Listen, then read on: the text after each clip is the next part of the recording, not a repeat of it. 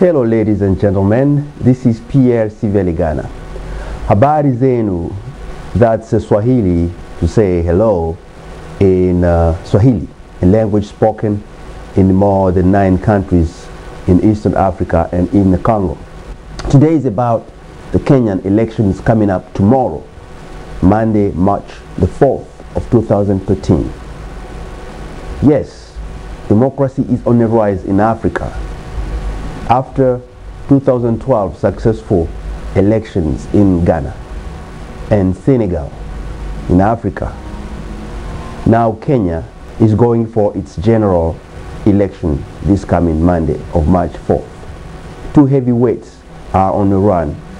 It's about Raila Odinga, third presidential candidate, against Uhuru Kenyatta, second presidential candidate. Raila Odinga is the actual prime minister. Uhuru Kenyatta is also a member of the government as a vice prime minister of Kenya and also the son of the first president of Kenya.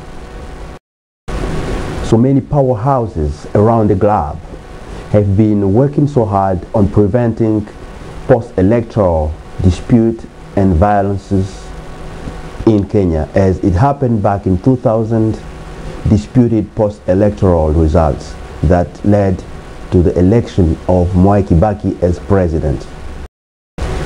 And President Obama of the US has himself made a personal plea to the home country of his father to run a peaceful election for the voter to mature and to rely on the judiciary system for any post-electoral dispute.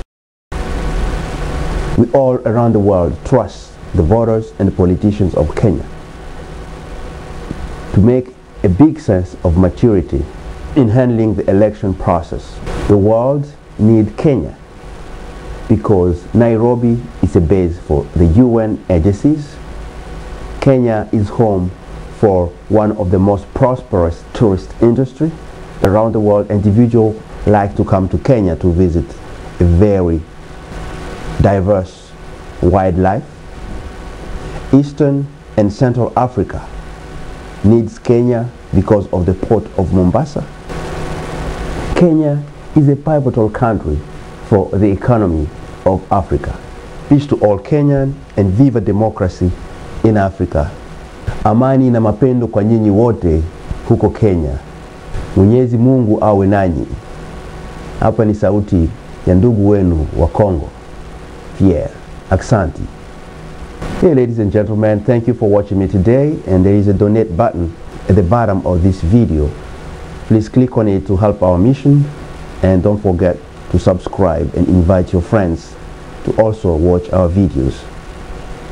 And finally, we have a book on sale. Please check it out on Amazon or on our website www.congohealth.org.